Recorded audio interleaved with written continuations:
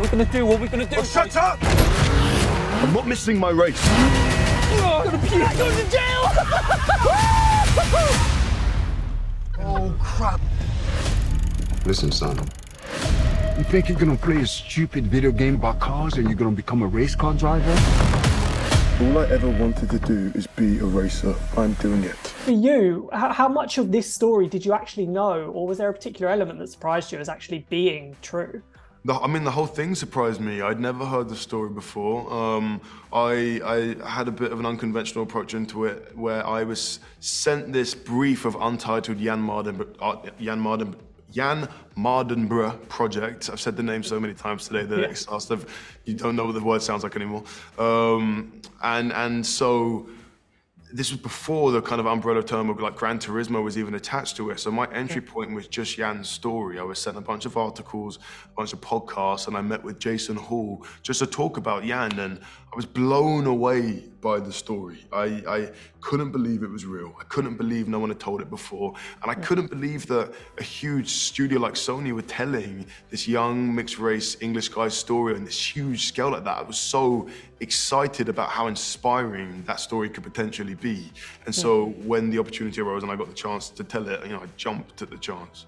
Yeah, definitely. And obviously, you had Jann on set as your own, as his own stunt driver, almost like in a weird meta kind Yeah. of casting. Um, how much did you talk to Jann to kind of inform your portrayal of him, or did you try and make it your own in some ways and not too close was a- to Jann himself? It was a marriage of both. We, but we kind of decided, me and Neill, from from the offset, um, that I wasn't going to be doing an impression of Jann.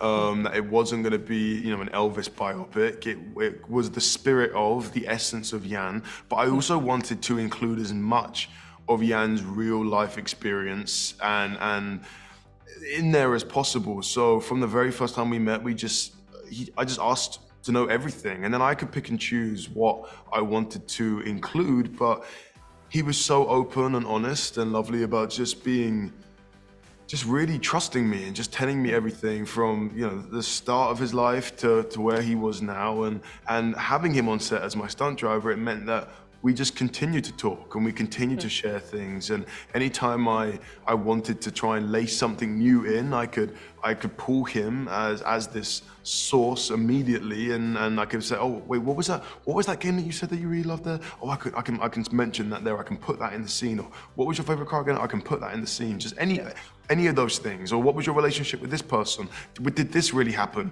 all of those things I could pull from Jann to make it feel as true to his experience as possible whilst also having some creative freedom to make him feel like a relatable character Yeah, definitely. And the driving sequences in this, even though I saw an unfinished version, they're intense. Like Yeah. they vibrate the seat. Um, and when I was talking to David yesterday, he said like in real life, being in there, he didn't want to do anymore because they were so intense and quite to go through. So how was it for you those kind of driving experience where you were in the car and being driven around these crazy? I love that. I love that David said that. He probably did it one or two times. I did it every day for three months. I was there. I was in the car every single day, and it was truly the most difficult experience I have ever been through. It.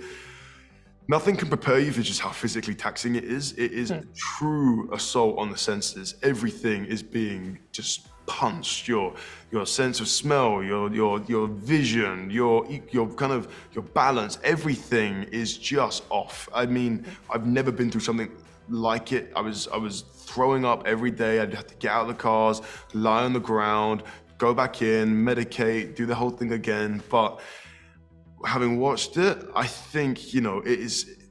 Neill was so adamant that it was worth it because there's kind of no cheating that feeling that you get, the mm. G force on my face, the shake, the what you were just describing. It's difficult to cheat that with green screen. He really mm. wanted to know that we we would feel it. So anytime I'm in the car, I'm there going at full racing speed. It's hot, it's claustrophobic, it's nauseous, but it added to the world. It added to the to the experience, and and I think it was it, it was all worth it.